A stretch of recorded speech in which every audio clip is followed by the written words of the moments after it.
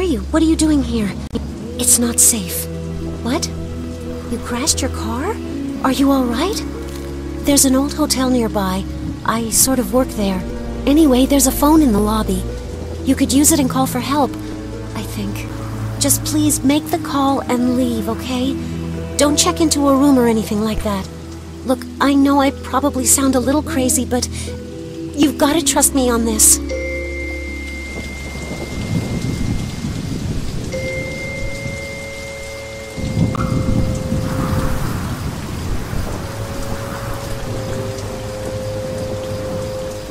Wait, I forgot to tell you something. The forest can be a real maze sometimes.